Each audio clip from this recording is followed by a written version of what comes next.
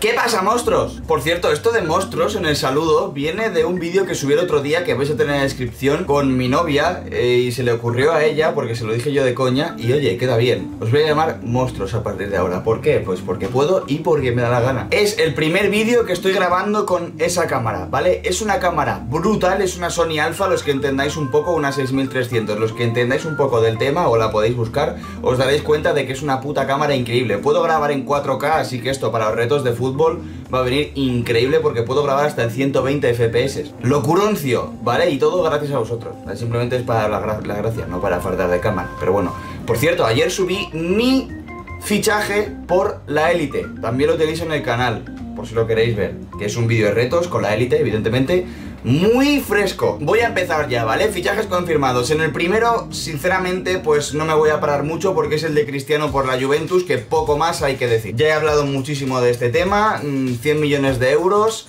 Me parece una incorporación muy buena para la Juve, ahora mismo ya es candidata a todo por el hecho de que venga Cristiano Ronaldo. Si ya era favorita de la Liga Italiana, ahora aún más y ahora creo que han subido un par de escalones para poder intentar ganar la Champions, aunque sea muy muy difícil. El siguiente, un fichaje que bueno, Jorginho o Jorginho, como lo queréis llamar, del Nápoles al Chelsea por 57 millonazos de euros. Es un fichaje del técnico, ¿vale? De Sarri, viene con él, viene de la mano, lo ha pedido expresamente, pero coño, 57 millones de euros vale que es la Premier y se pagan auténticas burradas por cualquier jugador porque tienen mucho, mucho dinero, pero de ahí a pagar tanta pasta...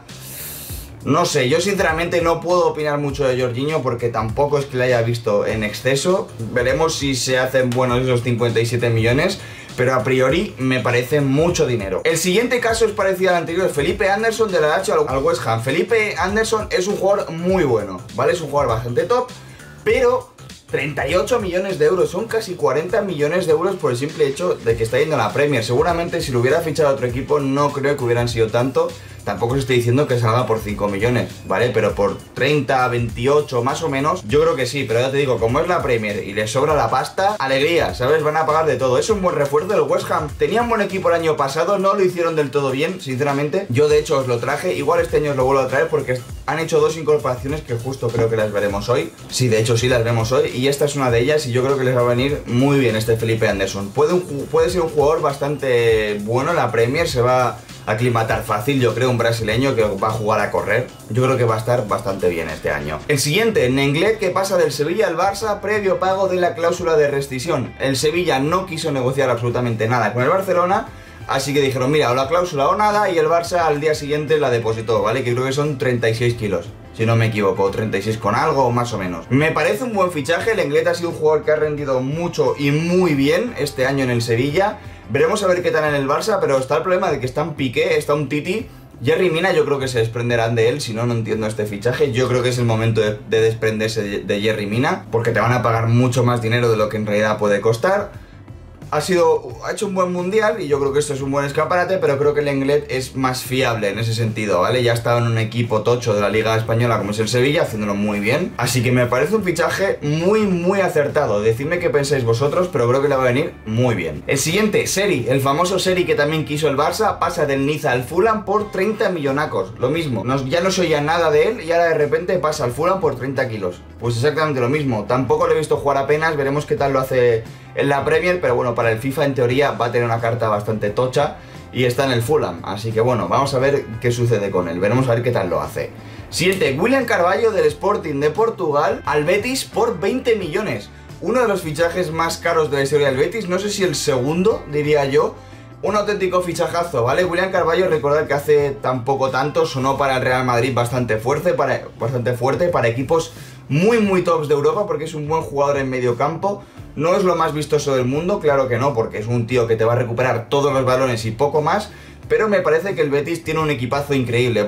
Mm, puede incluso ganar la Europa League con el equipo que tiene, ¿por qué no? Si han metido en Europa lo pueden hacer muy bien este año en Liga. Me gusta mucho el proyecto del Betis, este año me voy a comprar la camiseta fijo, está guapísima encima. Así que veremos a ver este Betis que encima está con Quique Setién que juega brutal, así que veremos a ver qué pasa, pero el equipo que tiene me parece muy muy muy top y se está rumoreando que aún queda otra bomba que tiene preparada el presidente. Veremos a ver. El siguiente, Yarmolenko del Dortmund al West Ham por 20 kilos, ¿vale? Yarmolenko ya le conocemos todos, ¿vale? El skiller del FIFA, el skiller de uno de los skillers de la Bundesliga. Llega a la Premier que creo que es una liga muy apropiada para él, un tío alto, fuerte, muy rápido, muy habilidoso con el balón, banda derecha, pierna cambiada, creo que se puede hinchar, sinceramente, veremos a ver qué tal lo hace. Va a depender mucho del resto del equipo que tenga el West Ham, ya os digo, porque el año pasado también tienen un equipo bastante bueno para la Premier y ya os digo, no funcionó demasiado. Veremos a ver qué tal este segundo año, yo me espero grandes cosas de este West Ham, así que mm, a ver qué tal, pero también tengo muchas ganas de ver a Yarmolenko. Siguiente, me parece un fichajazo brutal. Sakiri del Stoke a Liverpool por 15-17 millones de euros es lo que se estaba rumoreando. Me parece muy tocho. Mucha gente ha dicho, esto es porque Salah se va a ir. ¿Dónde le pones si no? No necesariamente. Puede ser un suplente, puede ser un jugador de rol del equipo, puede haber aceptado eso. Ha ido a un equipo que recordamos que el año pasado ha llegado a la final de la Liga de Campeones. Pues igual ha decidido ser uno más en el grupo y no porque tener que ser titular siempre, que yo creo que es lo que va a pasar. Así que, no sé, no me parece un mal fichaje para nada.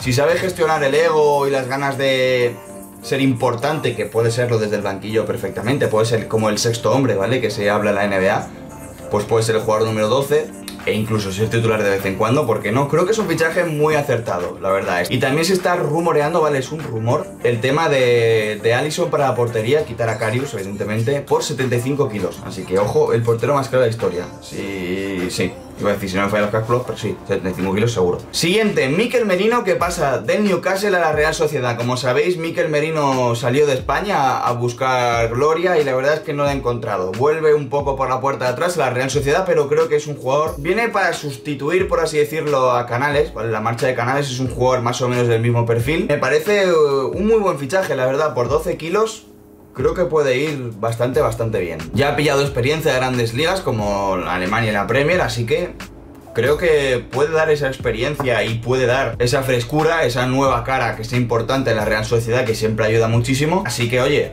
Veremos a ver qué tal, le tenemos de vuelta a Liga Española, así que espero que lo haga bien. Siguiente, vas al Valencia por 6 millones, un auténtico fichajazo, ¿vale? En teoría los compañeros del Valencia, se una noticia por ahí que están anunciando con lo bueno que es Vas, tampoco creo que estén descubriendo América, porque ya se ve y se ha visto que Vas es un tío muy bueno, ya lo demostraron en Celta, así que lo que os digo, a mí no me sorprende, me parece un fichaje increíble y más por 6 millones, me parece un robo, por así decirlo, ¿vale? Se lo han robado por 6 millones a un tío buenísimo. Llega un equipo con un poco más de aspiraciones que el Celta, no nos vamos a mentir, llega el Valencia, que también se está montando un buen equipo, así que vamos a ver qué tal lo hace Vas, pero yo creo que llega para ser titular, vamos, de hecho para mí sería titular indiscutible, me parece un tío buenísimo, capaz de hacer muchísimas cosas sobre el campo. Y ya para terminar, otro fichaje del Valencia, Diacabi, vale, su, su tercer fichaje más caro, ¿no? De, su tercer defensa, creo, más caro de su historia, llega por 15 millones del Olympique de Lyon al Valencia. Es un jugador bastante joven, ¿vale? Tiene apenas 20 años, mide casi 1,90, lo ha hecho bastante bien en Francia. Es un pelín, creo, un pelín lento, o eso se comenta, que es un pelín lento para, para llegar a los cortes y tal, pero bueno, eso es algo que se entrena, tiene 20 años,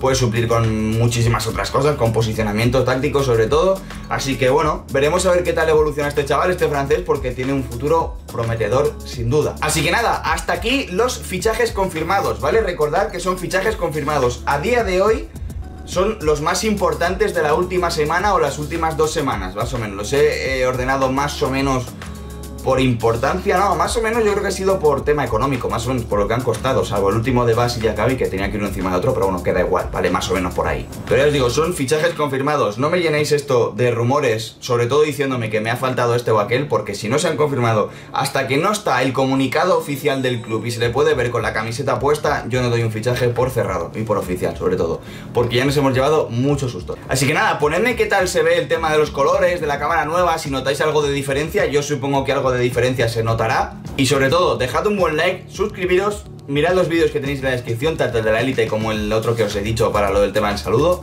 Y nada, nos vemos, no sé si mañana o ya otro día, pero nos volvemos a ver, tranquilos, que tenéis Vitu para rato. Nos vemos chicos, chao.